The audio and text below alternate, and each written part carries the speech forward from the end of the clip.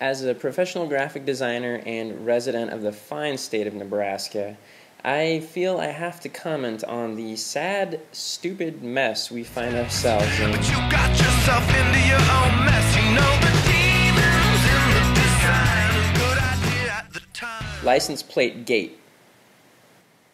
You haven't heard about it? Oh, well, let me fill you in here. One, it's time for new license plates. Two, Nebraskans got to vote on our license plates this year via the internet. Whoa, whoa, whoa, whoa, whoa, whoa, wait, wait. You mean vote on the internet like NASA did? Like a few months ago? Yeah, exactly like that. Three, selections sucked and were widely panned for their crapitude. Four, government refused to allow other options to vote on despite many volunteer offers from local professionals. Five, collegehumor.com picked up on the vote and spammed the ballot box. Six, results announced. Ugly plate one, massive public outcry.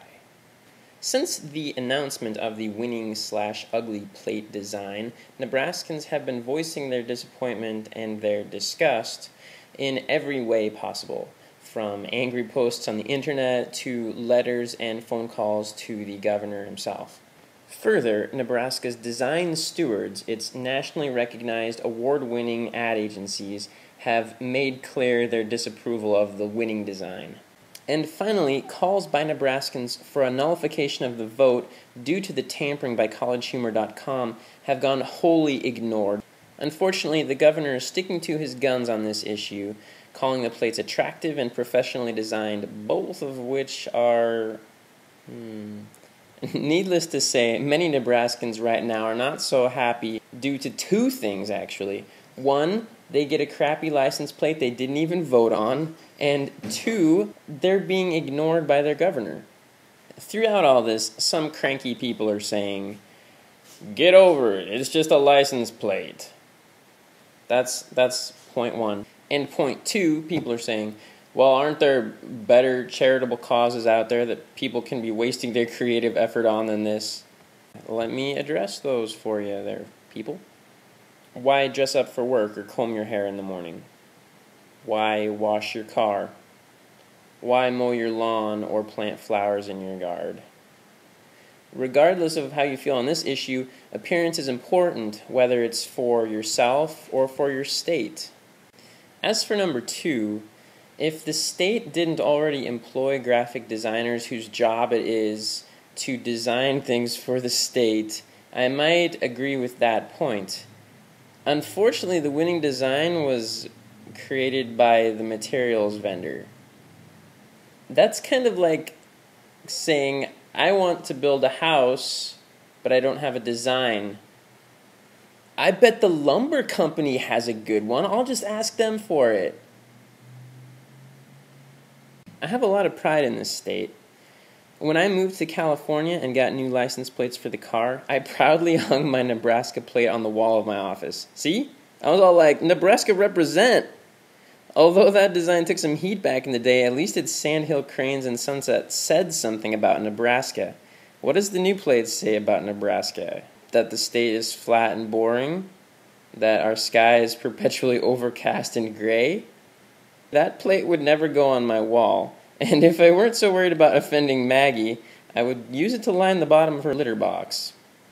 You know, ultimately, a license plate is a little thing. Unfortunately, the governor's obstinance is pushing this issue into the spotlight right now. The bureaucratic talking points are repeated over and over again, the most awesome of which is can't please everybody. No, you can't please everyone, it's true. But when the majority of people you're pleasing are out of staters who voted on this thing as a joke, not Nebraskans, then there's a problem with that statement. In closing, I just had one thing I wanted to say. Governor Heineman, with all due respect, you can diffuse this situation right now with one simple statement Nebraskans, I love you. we all know that's not going to solve anything. No, what he should say is Nebraskans, we've heard your voice. We are nullifying the vote and accepting the design help that has been offered. How long was it? That was like it was like 20 seconds. Of course, I'm a lone Nebraskan internet video blogger. I honestly don't expect my plea to go answered. But maybe, just maybe, if we make enough noise, it was the internet that got us into this mess, and it's the internet that can get us out of it. Write, call, blog. Let's make something good happen so we can be proud of the tiny Nebraska billboards we all have to display on our cars. Are you ready, Nebraskans of the internet? It's go time.